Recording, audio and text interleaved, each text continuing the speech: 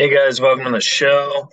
Uh, couple things. I don't know when this episode's is gonna get released.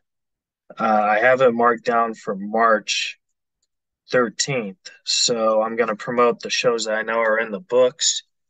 Uh, May 4th through May 6th, I'll be at the Milwaukee Improv with TJ Miller. Uh, you can book your tickets now at the Milwaukee Improv website or TJ Miller does not have a website.com. Uh, I'll also get them on keithreza.com as soon as I can. Um, that's all I got for for oh you could see me on what date is it? May 12th at the Rec Room with Alan Havey. That would be fun. That would be cool. So you can get tickets at www.recroomhp.com. Uh, my guest today, you've seen him on Comedy Central and you've seen him on MTV. Uh, you've also probably seen him streaming. The great Morgan Jay will be here via Zoom, and it's going to be a lot of fun to chit chat with him. And uh, if you guys like the show, subscribe, rate, review, tell a friend. Also, I'm on Cameo. Uh, get those cameos in. And I would love to give out birthday shout outs and all that stuff. All right, guys. We'll see you guys next week. Enjoy the show.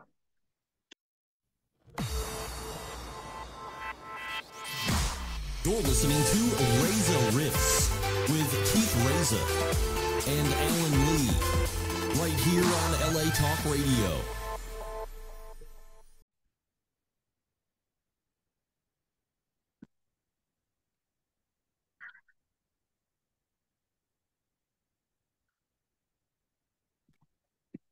Hey, what's up, man? Hey, Morgan. How you doing, buddy? Let me just make sure I have check check. Hi, get ready. How are you? Uh, oh, it's through a different. Hold on a second. This isn't the right microphone. Oh, okay. Okay. How does it sound? Oh, so how does it sound now? Does it sound sounds better? good. How are you? I'm good, man. What's up? Not much. Thank you so much for doing it. I really appreciate it. I know you, you get like, uh, especially right now, I see you on all the podcasts and all the Zoom shows. So I know you're very busy right now. That's uh, I mean, that's good. It's good. It's a good thing to be busy. So that's what that's what, that's what I'm trying to do. Yeah. You know? I like your neon sign that has your name on it. Oh, thanks, dude. I, I had gotten that for my my comedy special uh, because uh, we just wanted to have a nice little touch of I don't know, like cool little things that to have there. You know what I mean? Yeah. And um, and so so basically, yeah. So now I have it forever, including the cardboard cutout. That was for the comedy special as well. Yeah. That, Uh, that that's a cool night light too. You know? W- Oh, that I know. Well, actually, it, it is actually pretty nice uh, to have. Like, if I, I'm I'm worried because I'm not worried. There's so many things to worry about, but uh, I wonder how long it will last for. Do you know what I mean? yeah. Because I got it. For, I got it from like China. I got it on Amazon, and I think they just make it in China. oh, so you're worried You know it's gonna mean? burn out or something? Yeah, yeah. But I but when I'm doing stuff like this, I, I pop it on, and so I feel like it gives a nice little touch Yeah. for the podcast for for whatever we're we're doing a recording. You know what I mean? I should get one for myself. I think that's cool. I always wanted to have a lava lamp. Have you, do you remember lava lamps? Bro, I'm 36. Of course, I remember lava lamps. Crazy? I always wanted a lamp full of lava. Yeah. Um, but no, no, it's it's uh it's it's good. Things are good. Getting ready to release a comedy special. We're almost done with that. And uh just let me know what you want to talk about today, man. Or or also let- do you know how long we're, recording for or we're doing this for? Uh, just 30, 45, whatever you want to That's do. fine. Yeah, that sounds good. Okay, You know, I, I just I, I have some questions and you know, obviously I wanted to talk about the comedy special and uh, you know, all that Definitely. jazz. But Definitely. I, I I wanted to ask you this question because I had an argument with my friend, and I I'm one of those guys where like I don't argue unless I know I'm right. You know what I mean? Sure. Yeah, yeah, yeah, yeah. But. I I could have sworn you had another name. Like I like it was Morgan Jay something, and then he said you didn't. And I I could have sworn when I saw you do stand up like nine or ten years ago, you had another name too. I did. It was Morgan Venticinque. Okay, so I was right. You were at, you were 100% right. Yeah. so- Morgan J. Venticinque. yeah. That's my that's my full real name. And um don't you forget. Don't you forget about it. Don't you fucking forget it. Yeah. Okay. Well, I mean, I, I was just like, no, because like I, it's one of those things where, because like I remember, I also remember you just did straight stand up. Now you do guitar. You know what I mean? This is true, yeah. Um, this is uh, very true. So, uh, about six years in, I decided to. Sw- I didn't really decide to switch permanently, but I, I definitely was like, let me um, try this out because I had auditioned for JFL two years in a row, uh, and nothing happened. And I, I don't know. I just had these expectations that something should happen, but nothing happened, and so. Uh, so basically, I just was kind of like annoyed with comedy, and you know, I wasn't I wasn't a bad stand up. I sure I certainly wasn't like, you know, the best, but I was doing okay. If I was getting J if I was getting JFL auditions, I was I was, and they were like from referrals, or they weren't like. There's no reps or anything. This there was no industry voodoo going on. Like these friends had recommended me, and um, I don't know. So creatively, I was like, oh, I'm just telling these same six minutes over and over. I'm just working on the same material over and over. Uh, I don't know. I just got kind of tired of it. So, um, So the guitar helped you bring in a new ledge of comedy into your act. yeah, but um, basically, you know, but when I when I did the when I did the guitar, it wasn't like I am this person now. I, I, I gave myself permission to be like, if, if this isn't good or if I don't like it, then you don't have to do it. Also, that was kind of scary because you know how com- comedians are about music comedy. Yeah. which is interesting because it's like there's so many really great musical comedians. There's a lot of bad ones, but you know, I think it's just like any other art I think form. I think musical comedy is very unique, and I think you know, like you, you pull it off really, really well. Thank you, And you know, when you see you live, you're like, oh my God, that was a great live experience. And that's the uniqueness that you want at a comedy show. Yeah, I no, no, hundred percent. yeah, I don't really like musical comedy when it's like a comedy competition, and you know what I mean. And then Yeah, I mean, look, I, I, I. I literally did a last comic standing type show called Bring the Funny. Uh, I've done multiple like comedy competitions, and um, they're just kind of not conducive to music comedy. If you want to Yeah. do one, if you want to do one song, or if you want to do, if you really want to like, I don't know, make it musical. You know what I mean? Could you imagine Bo Burnham doing a comedy competition? No, not at It all. would, it would never work, dude. It, it, it's just like a it's a longer form kind of thing. I mean, I had I got uh I auditioned for America's Got Talent by special like invite, you know. So I just sort of cut the line to do the whole the the, the casting call type thing. Right. But uh, you know, you only got 90 seconds and then then it's just it just doesn't work. I don't know. People don't realize that like when you because you, when you're doing 90 seconds at a club, it actually goes by fast. But at an audition, it takes it like takes a lot. Yeah, it feels Yeah, like a long time. like- yeah. no, it, it uh although I'll tell you what, I saw another musical comedian on the show and he did a song. I forget the guy's name. And it was all right. Uh but it was like, man, if, if they're if this guy can do this, why, I, why am I like holding off? yeah, Uh, you know. Um so I I thought about reaching out again to do it again because I, I feel like I have material now that that even if I got I don't know, even if I was just used to to boo off or to, to get an X, it would still be really good exposure. You know what I oh mean? Oh yeah, definitely. Like people don't go on that show to win. I think they go on it to get on two or three episodes and then purposely lose. And look, there there's some people who, you know, definitely will win. And I think the producers know who that is. Whoever has a good story, whoever has like you you know, it's not enough to be talented on these shows. You know, you gotta have that that, you know, that's that against all odds story. You know, you have to be homeless or overcome cancer or be an orphan or or or like some sort of thing they like to see you know oh we're raising money for this or this or this or this i'm not knocking it but it seems like that's kind of the energy of the show Right. um and i i don't know if my story is like sad i don't like have you know i don't my dad died but it's like but but uh, but like you know, people die all the time, so I, I don't know if that'd be I don't know if that'd be enough.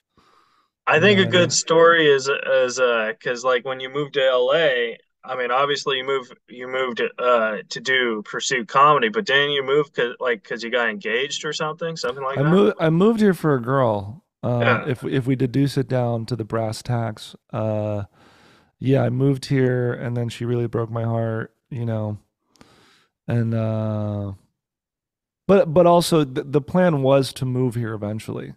So I think you know I was using her as an excuse to to really come here.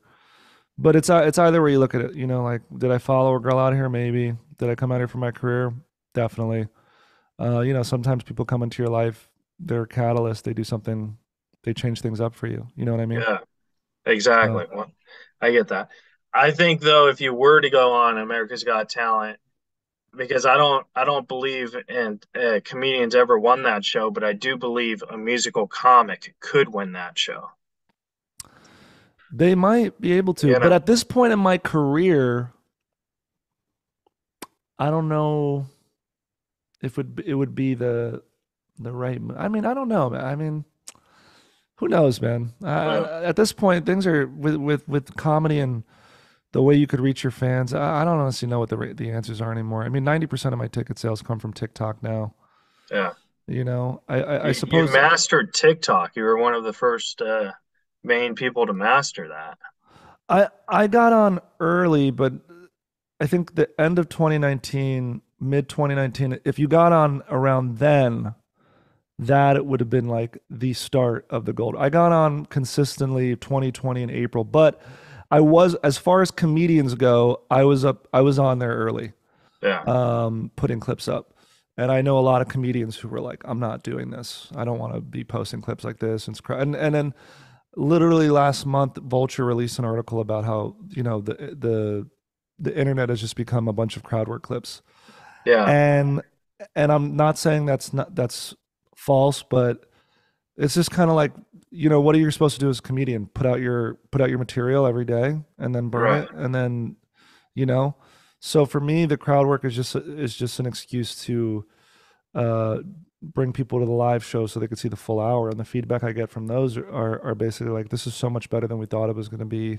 We didn't really know what to expect. We thought you were going to just be like a tiktoker this and that. But you know like the special that's going to be coming out it's basically an hour of music. There's no you know there's a there's a minimal and if there is crowd work it's weaved into the songs Right. it's not like um, i have nothing to talk about you know what i mean it's it's weaved in there Uh, didn't you do a, a special where you did songs with crowd work?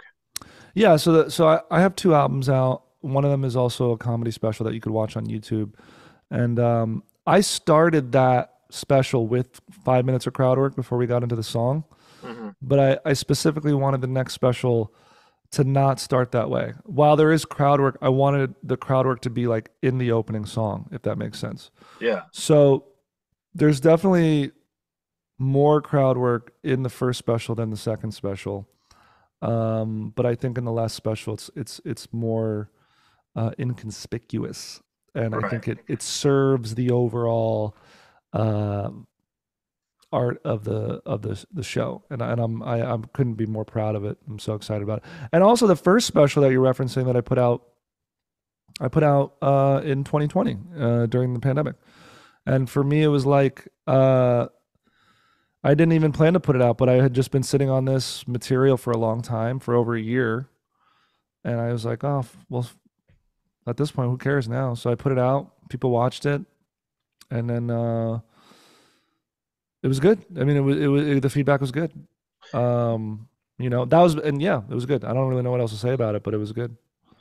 Would you say that the pandemic, like, even though it, it's a it's a horrible thing, but would you say, like, in a way, it really helped guys like you, for example, because you've mastered all this streaming and all this Zoom shows and all that stuff? For me, definitely helped out. Um, I've been doing this a while. I've never felt like I, I never felt like I had the backing of the industry behind me. Right. Uh, and uh, I was never really a comics comic. There's a lot of people who you know I would reach out to who didn't book me. There's you know there's just I you know it's different. Um, but I think that's but I think I think that what the pandemic taught me was you know wash your hands, you wear a mask and things. No, I think that it was sort of like uh no, what the pandemic taught me was that you you kind of have to. No, nobody's gonna save you. Nobody's gonna discover you. Nobody's gonna. You can't be waiting for stuff. Yeah. And you just have to make your own opportunities. So, um, you know, I said yes to every virtual Zoom event, and I was, and if I'm being totally honest, I think in 2021, I think my income from virtual comedy was somewhere between like thirty and fifty thousand dollars. Wow. And that's just all because I said yes to the gigs that uh, everybody else said no to. Right. And eventually you just learn how to work in this little space, right? It's just another stage, it's just different.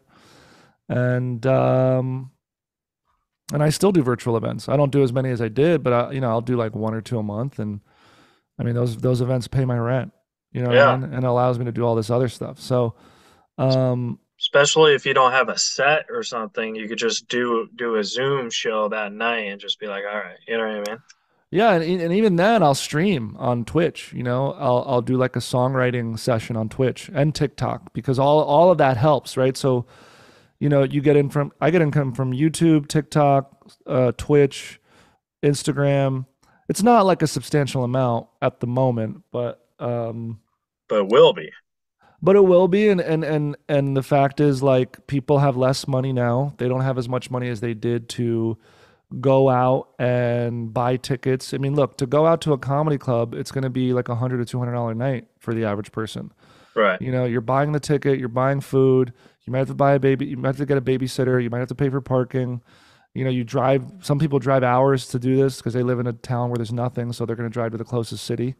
Yeah. And um, so for the so they might be able to do that, but for the people who for there's like ten times as many people who can't do that, and so you know, going on Twitch and doing some live performances and going on TikTok and doing stuff like that, I, I think it's really beneficial, and and I think it's going to kind of be a little bit of the future of I think performance because especially I'm thinking about like deep fake and AI now like jokes. Before you know it like all of the stuff can be deep faked you know Yeah. and I think like the only genuine authentic interaction is going to be like a live experience whether it's virtual or in person but I I don't think those two are going to be mutually exclusive I think like you can do a virtual live show and have both of them you know what I mean so I agree. Like when I first started, I used to do like a whole bunch of comp tickets, and like I tell every com like new comic who does this now, like don't do that. Just believe in yourself and sell tickets because it's harder now that I'm trying to sell tickets. Everyone expects free tickets. You know what I mean? Yeah, but uh, you know, I'll say this: when you offer something for free, it devalues in the in the audience's mind the what they're going to see. Does that make Right. sense? So, like sometimes people But you don't learn that until you get older. yeah, it's really interesting. It's like you, it's it's uh, because I would be do I'd be like, oh, come to a free show, free show, and then to them it's like, oh, this probably it's free. This is probably going to be trash. Right. Why, what you know what I mean? Whereas like now, I, you know, I don't do any sort of comp. I don't even do codes like discount codes. Yeah. Um, you know, uh, who can see the show can see the show. I mean, like I think, you know, now for the big cities, I'm averaging about 300 tickets for like a one nighter, like on a Wednesday or a Sunday, right? Which is Yeah. I think is pretty good for That's like great me. for Wednesday, Sundays. yeah. So, um,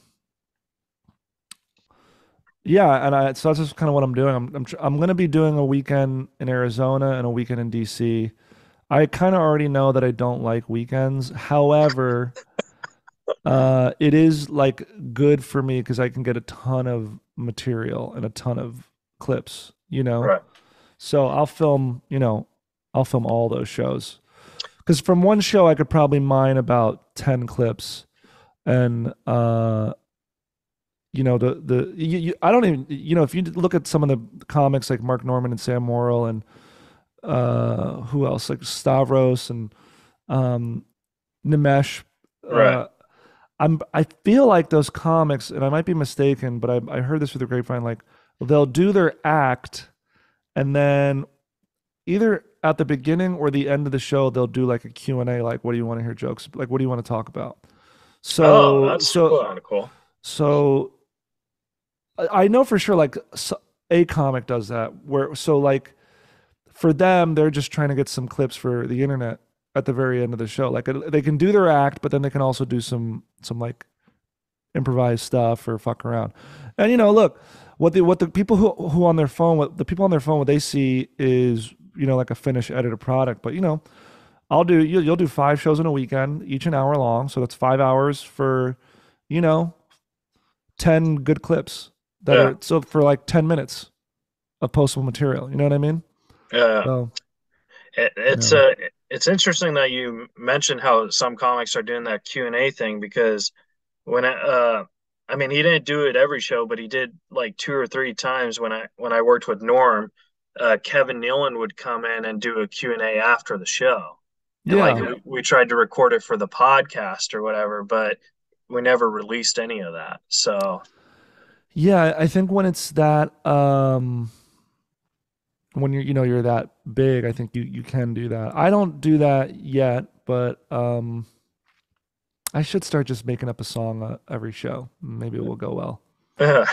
What do I I mean, what do I have to lose? Like literally I have everything to gain. I have clips, a new bit. You know what I mean? yeah. So uh, I wanted to ask you because I, I I saw a clip where you were on the street interviewing people and you were asking them a question and uh, it was maybe like three or four minutes, but I thought that that, do you know what I'm talking about? Because I thought that that would be a great show for you that you could probably pitch. Uh was I was I like in a speedo? Like how long ago was this? Yeah, it was like, it was like, uh, Was I in I Central know. Park? It was in Venice Beach, I think, or Huntington Uh, Beach or something like that.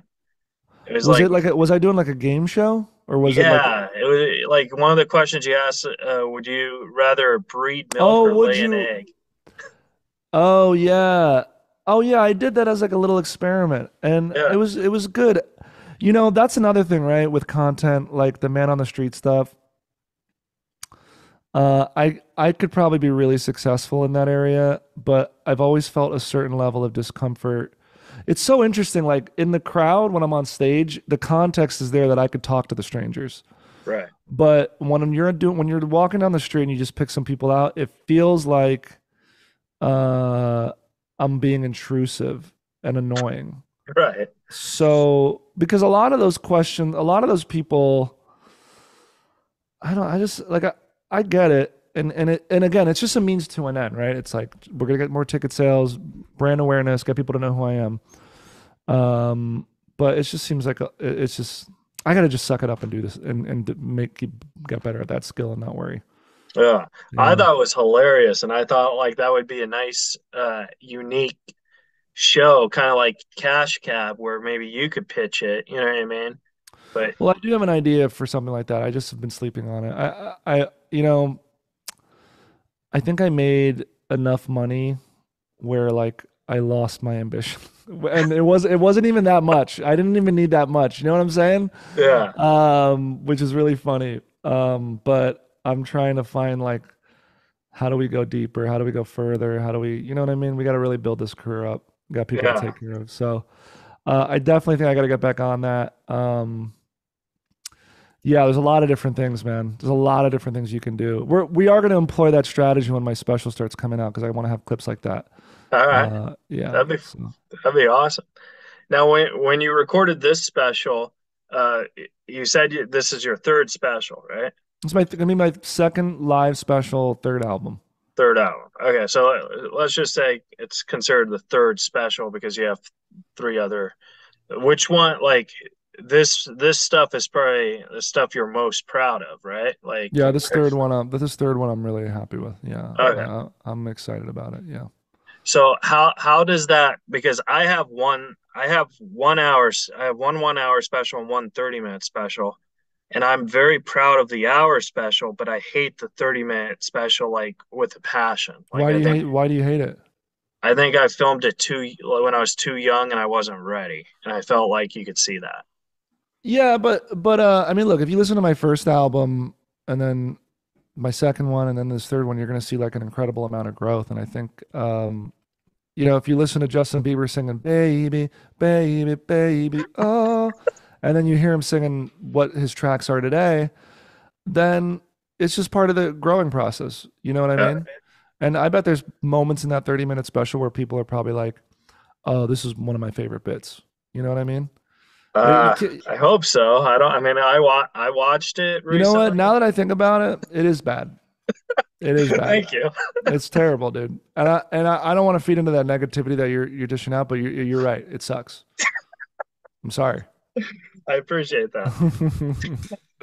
no, I mean, look, there's definitely parts of my first album and my my first live special that I feel a little bit cringy about that feel very amateur to me, but um you know, it there was a lot of good stuff too. Like, you know, I was that was my first time doing a special. The second one, this one I did this year uh in in December, I felt like a true professional. I felt like I kind of you know, vaulted and landed and the disma everything was kind of clean Yeah. you know uh so yeah Well, I have three more questions I wanted to ask you. And, Sure. uh, So, uh, comedy festivals, you you've done a lot of comedy festivals, and I wanted to ask you because I've done a couple, and I think they're fun and all, but it seems like comedy festivals is where everyone like is trying to go into. Would you say that the comedy festivals helped you grow as a comic, or would you say they're just another gig?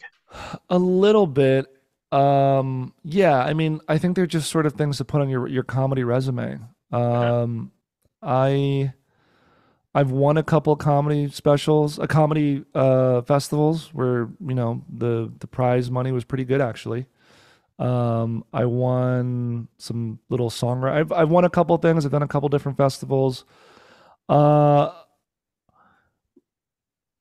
but unless like the industry because the industry will go to some of these festivals but but dude now it's like if you have a decent following and you're moving tickets i think they could kind of care less about the festivals now Right. I mean, like if you look at somebody like Trevor Wallace, I don't think Trevor ever really did a festival. Right. I mean, he's he's done fest. I think he's done festivals now, but he hadn't done, you know, like Laughing Skull Right.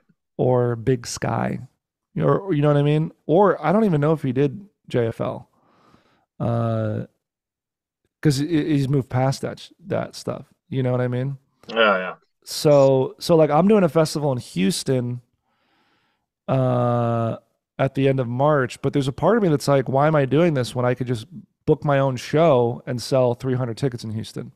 Right. You know what I mean? And make more money.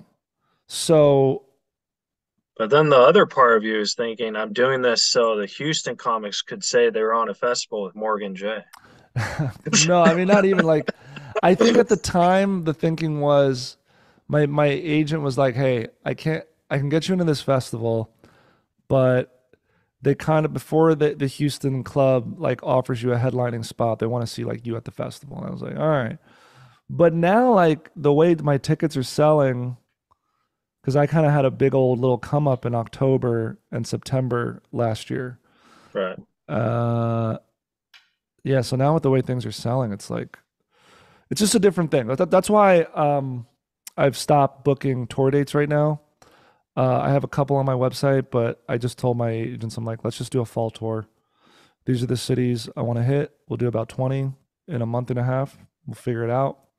Good. Um, I don't like to travel, but there is a part of me that is like super grateful for my fans because I do have fans now, and uh, I feel like I owe it to them. You know what I mean? Yeah. They want to see me live, and the shows are actually really fun. You know what I mean? And uh, What's your part of it. favorite? What's your favorite city to go out? Like Dude, the city you just know to go out, you'll have a fun it no matter what. if I'm being totally honest now, I've traveled so much that when I go to a city, I do the show when I go to the hotel. Like I don't really do anything. I, Really? I'm so lame, and especially and and I, there's a couple of reasons for that. A, if I have to do like multiple shows in a row, I don't want to blow my voice out. I don't want to like get too drunk. I don't even really drink because it's all my it's all voice stuff. If you got to do a, if you got to do a weekend of shows where you have to sing, not only do you sing, but you got to meet people after the show. Uh, and you know, by the end of show three, your voice, you know, I already know friends whose voices get shot. They can't do it. Yeah. So when I get ready for touring or weekends or stuff, I'm doing an, a, a Prilosec treatment where I'm doing like taking omeprazole for like because I have acid reflux. I am running, doing vocal exercises, and I'm eating healthy. I know this sounds lame, but all of this you like you can unless because like Nate Bargatze, for example, doesn't have to do that because his act is super chill.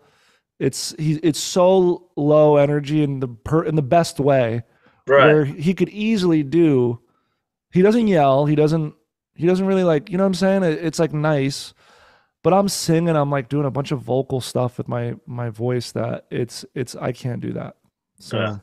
i have to I be always- super careful about it I always loved doing uh, Vegas because uh, when you're on tour with Norm Macdonald, you know, you you there's a lot of perks to it, but it's also like a lot of anxiety and stuff. And Vegas was so fun because after the show, you could take him to go play poker. You could actually sleep for seven hours, and then when you wake up, he'll still be playing poker. You know I did he, mean? did he gamble like that Oh yeah, hardcore. he was gambling like that huh Yeah, yeah. But did he have money was he like Vegas. bankrupt or i mean i'm so curious about that my dad gambled all of our money away really, so i stay Uh, away from casinos i'm worried that i'll have that that bug No, I mean he he won a lot. He lost a lot too, but I mean that that was one of his favorite hobbies. He probably loved that more than doing stand up. Was just playing cards. it's fun it's Yeah. fun it's so fun so like, you know, Vegas was always fun because I knew he had a babysitter and I didn't have to be there. I could just sleep. You know what I mean? Yeah. Why? Well, yeah. I will say I've never really opened for anybody. I think I've only opened for one comic uh in my whole career. Um and he he goes out to party, but I, I don't. Also, I don't think he wants me partying with him.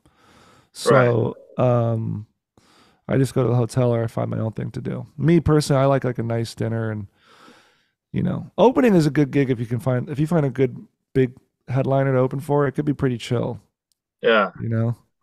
So, All right. And then I have two more quick questions. This one's actually a quick question. My friend Dan on Facebook said he met you in Austin and he wanted to know how come you've never been to Portland. I don't know what that meant, but he wanted me to ask you that. I don't know. I was, I, but I was in Portland. Oh, you've been in Portland?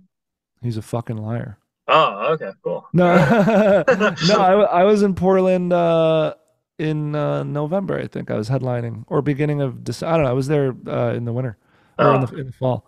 Maybe he cool. was trying to say go back to Portland so he could see you in Portland. I don't know. Oh yeah, no. Portland was cool. And then my last question for you, Morgan Jay, is if you could go in a time machine and go back to talk to Morgan Jay, either from yesterday or you know when you first started, what would you say to give yourself what you know now? Um, I would say it's not that serious. It's never that. It's not that serious, bro. It's never that serious. I'm telling you, dude, chill. It's not that serious. All right. It's hard to have perspective, but it's just not that serious. Yeah. That's good advice. You know? So where can the f- folks at home follow you and uh, watch your new special when it comes out? So make just go to morganj.com, morganjay.com. The new special, we haven't set an exact release date or a location. It will ultimately end up on YouTube at some point. We don't know if the ex- the release is going to be there. We're going to shoot for the stars and we're going to send it to Netflix and all the other streamers. Uh, but there, I think ultimately it will end up there. So Google me, go to my YouTube channel, subscribe to me there. Uh, I'm trying to branch out with my content on that channel and with music and other things, and um, that's it. You know, that's all you got to do. I could Yeah. say that now. Google me. I don't have a wiki. I don't have a wiki page yet, but we're almost there. I said Yeah. Google me. Yeah. I think uh, you, wiki pages that that's that's uh that's, That's the people- hallmark of when you made it, dude. Yeah, but then people could like write unknown facts that you didn't even know about yourself. I love it. I cannot. Maybe I do have a more uh, wiki page. Let's find out. It's like, Uh, oh, Morgan Jay has 12 fingers. And you're like, oh, I do? Yeah, no, I don't. I don't. Yeah. But I'd be showing up. That's cool. Yeah. I'd be showing up. Well, Morgan, thanks so much for talking with me. And No, uh, thank you, man. yeah, it really helped me out as a comic. And I know that you get, you know, a lot of podcast requests. I know everyone and their mother has a podcast. So thank you for doing mine. No, of course, man. I know. I'm happy to do it. I, and I'm glad you reached out. And uh, I'll catch you at a show sometime, man. All right, buddy. Well, I'll see you later, man. All right. I'll see you later. All right. Bye, Morgan. Bye, buddy. All right. All right, guys. That was the interview with Morgan Jay. Subscribe, rate, review, and tell a friend. And we'll see you guys next week. You're listening to Reza Rifts with Keith Reza and Alan Lee, right here on LA Talk Radio.